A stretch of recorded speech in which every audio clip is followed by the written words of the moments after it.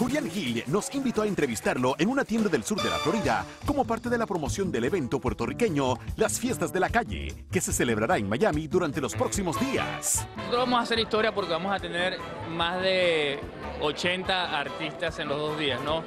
Eh, cabe mencionar que nuestra madrina es la diva puertorriqueña Anita Nazario, eh, que para mí es una, una bendición poderla tener. Tenemos un artista internacional que es Nacho, y tenemos, es que si menciono, pues te voy a mencionar algunos, pero se me va a quedar mucha gente fuera, pues tenemos a Pedro Capó, a Melina León, a Cani García. Y en medio de la entrevista, su actitud cambió absolutamente cuando le preguntamos de su sonado pleito legal con Marjorie de Sousa por su hijo Matías. Bueno, Julián, ya cambiando un poquito el tema, hace poquito se encontraron tú y Marjorie eh, en la prueba de ADN del niño. ¿Cómo pudieras describir tú ese momento? Yo creo que la mejor manera de describirlo este, debería ser que le pregunten a ella. Ella es un talento de ustedes, es un talento de la cadena y creo que es eh, totalmente correcto que le pregunten a ella, ¿no?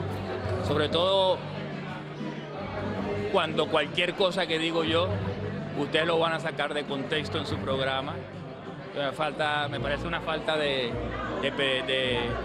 de responsabilidad de parte de, de, cómo manejan la noticia, lo digo de corazón. Y la verdad es que no tengo mucho interés en hablar con, con el programa de ustedes. ¿Qué ha sido lo que más te ha molestado de lo que se ha dicho en el programa? Pregúntenle a ella.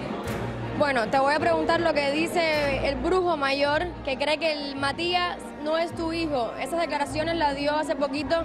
¿Qué opinas tú de la opinión de él? Yo con ustedes no voy a hablar no, quiero hablar con ustedes, no me parece que tenga que hablar con ustedes, primero teniéndolo a ustedes ahí en el estudio, y segundo que me parece totalmente cero objetivo la manera en que ha manejado el caso cuando hay un niño de por medio, entonces no tengo nada que hablar con ustedes. Y estoy a favor obviamente, así como a las parejas heterosexuales se les tiene que investigar, se les tiene que evaluar, también a las parejas gays.